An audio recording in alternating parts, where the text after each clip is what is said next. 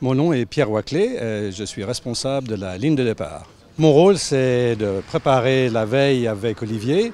On prépare tout le matériel et ensuite on l'achemine euh, sur place et ensuite on fait la distribution des bouées sur deux lignes, donc euh, une ligne pour les multicoques et une ligne pour les monocoques.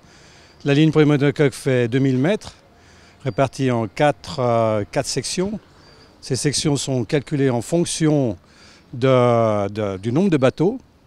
Donc toutes les parts ne sont pas égales forcément. Et la, ligne de multicoque, elle, fait 700 mètres et est à 300 mètres du bord. Euh, le bateau start pour la ligne des multicoques sera la Neptune, dont ce matin on a déjà posé deux corps morts pour qu'elle soit bien en place et bien amarrée. Et de côté des, des monocoques, on a un bateau start à terre et un autre bateau qui est à l'autre extrémité de la ligne, qui est le bateau de Versoix. Et ensuite, euh, c'est c'est 300 mètres qui séparent les deux lignes, l'une de l'autre. Donc pour demain matin, euh, tout le personnel est acheminé sur les bateaux de façon euh, à ce que tout le monde soit prêt bien à, bien à l'heure.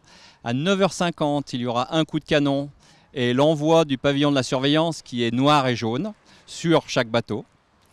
Puis à 9h55, l'envoi du pavillon P, qui est un pavillon bleu avec un rectangle blanc à l'intérieur, qui veut dire qu'il reste 5 minutes pour le départ. À partir de ces 5 minutes, les bateaux n'ont pas le droit de naviguer en amont de la ligne. Sinon, ils prennent une pénalité d'une heure. Et à 10 heures pile, euh, les deux pavillons sont, aff- sont affalés et les bateaux ont le droit de partir pour la course. Ensuite, il y a une bouée de dégagement, c'est-à-dire que devant Versoix, il y a une bouée que seuls les multicoques doivent contourner, c'est-à-dire laisser à gauche. Et euh, ensuite, euh, tout le monde a rendez-vous au Bouvray pour faire le tour de la barge, du chaland et puis revenir à la SNG le plus vite possible. Euh, on part le matin à 6h du matin, poser les trois bouées de la ligne de départ, plus positionner le bateau de Versoix fait office de bateau start, plus le bateau start qui est derrière, celui de la nautique qui fait aussi office de bateau start. Voilà, donc on part euh, à 6h, on en a pour euh, deux bonnes heures, le temps de réceptionner tous les bateaux, euh, les amarrer comme il faut. Ensuite, donc on revient... on revient d'Ardard à la nautique parce que Pierre fait le boulder, donc il repart faire la course. Donc moi je me change aussi vite fait, euh, comme Pierre me laisse faire euh, tout le travail, j'ai beaucoup transpiré, parce que lui il fait que conduire le bateau.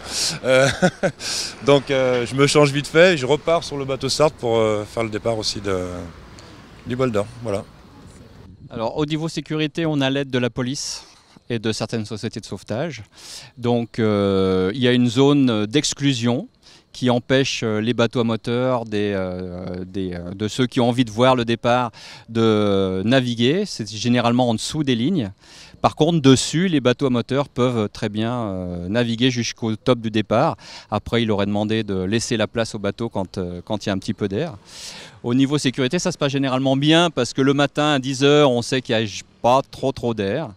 Donc euh, ça, il n'y a pas de problème. Euh, euh, Il y a toujours beaucoup de bateaux à moteur, mais bon, ça fait partie un peu de la tradition et du succès de l'épreuve.